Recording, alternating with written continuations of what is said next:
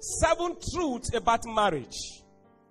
Since now we know that marriage is orchestrated by God, is ordained by God, it's God that instituted marriage. There are reality, there are truth, there are mysteries about marriage. So it is necessary that we understand this truth. So I'm going to reveal this truth to you this blessed afternoon. Called the seventh truth about marriage. There are things believers, especially believers, children of God, need to know about marriage. Because many people are going through challenges in marriage because they, they don't understand what marriage is all about. Before they enter, they have not begin to, they have not understand the reality about marriage. So many jumped in. When they jumped in, they found something unusual that is shocking them, pulling them out. Because they didn't know what marriage is all about. So this blessed afternoon, I want to give you the truth about marriage. And if you are writing, I want you to listen attentively and put them down. Praise God. Number one, we have to understand is that marriage is a mystical union where two flesh become one. Number one, marriage is a mystical union where two flesh become one. We got to understand this when two flesh become one, there is no room for division. Because when two become one, there is no space by which you can divide them anymore. So the Bible says it's a mystery. Paul said, Therefore, a man shall leave his father and his mother, and he shall join to his wife. They shall become one flesh. He said, This is a mystery. How can two become one?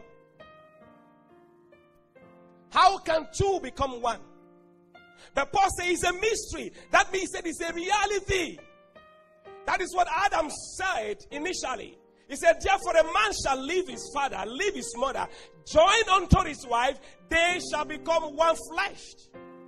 So we have to understand this truth and reality about marriage that when we come together, we are no longer two, but one. So therefore, there is no room for division. Therefore, there is no room for personal opinion, personal idea, personal agenda. Everything has to be exposed to each other. Because this time around, you are no longer two, but one. As an individual, can you hide a secret for yourself? No. So that is what the Bible says. It's a mystery. Two has become one. Therefore, no secrets. So we have to understand this reality about marriage. We have to know this truth. That as I'm coming into this divine union, because marriage is spiritual, I have to know that when I come in contact with my wife, I'm no longer two partner, but one. So everything concerning me has to be open. Everything concerning her has to be open.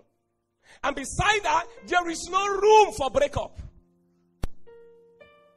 Hello. So sometimes when we are devoid of this, of this truth, of this reality, after we've come into marriage, we begin to experience some challenges. Jesus said, before a man should build, let it let him count what the cost. So we have to understand this truth. That when I get married to a man or a woman, I have joined with that person. There is no room for division. No personal plan. No personal projects. No secrets. Everything has to be what?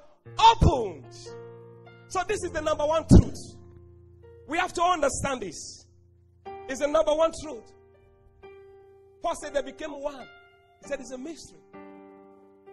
So no place for division. No place for two opinion. No place for two vision. The man has the vision, the woman has the vision. No, no, no, no. The family now has to run one vision. One vision. So we have to understand this. Because marriage is unique before God. Marriage is an important thing before God. That is what the Bible says. It says marriage is honorable among all. Every other thing, marriage has to take preeminence. It has to come before every other thing. So we have to understand this number one reality that marriage is a mystical union Where two flesh become one and there is no room for division. Number two, write this down. Marriage is an institute of goodness and favor. Number two, marriage is an institute for goodness and favor. Somebody say favor. Somebody say goodness. Hallelujah. Marriage is sweet. Tell your neighbor, say, marriage is sweet. Say, there is goodness in marriage.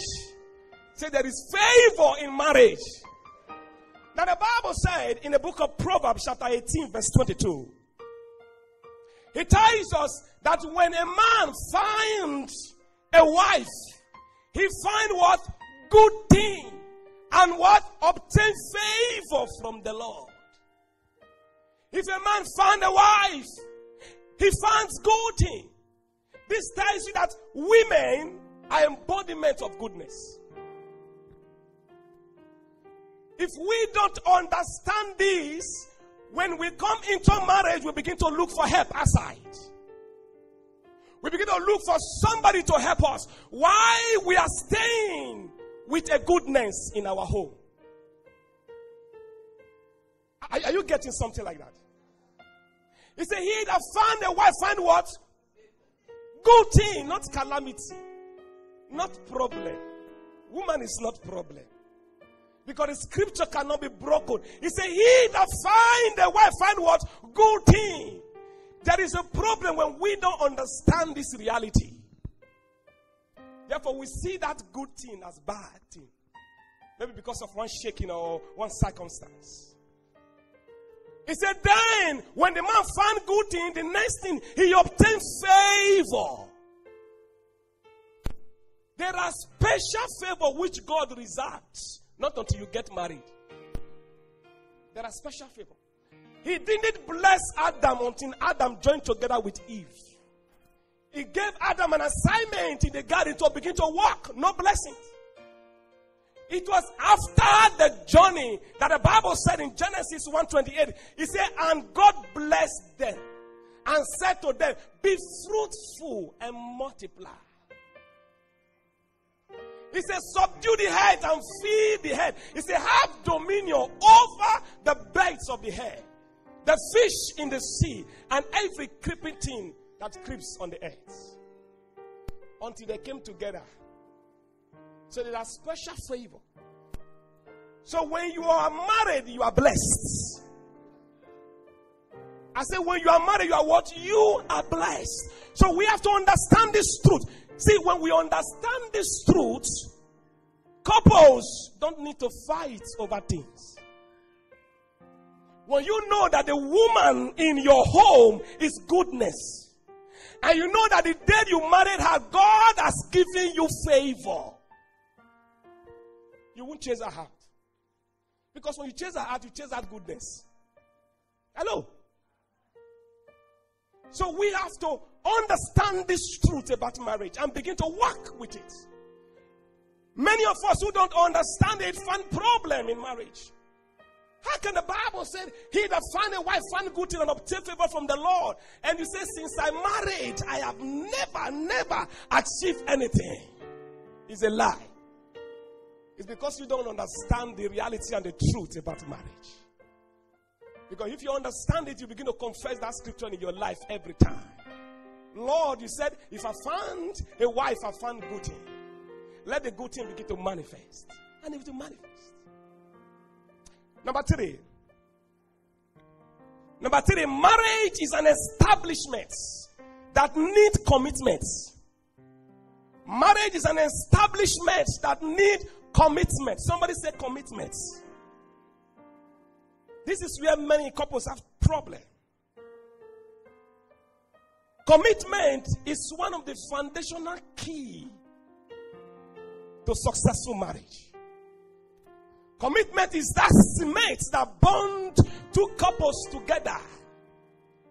It is the continuity of sacrifice in marriage. How loyal are you to your husband? How much love do you show to your wife? How submissive are you to that man? How dedicated you are to the marriage? How devotional you are to the marriage. Do you show faithfulness in that marriage? Is there fidelity in that marriage? All these are commitments.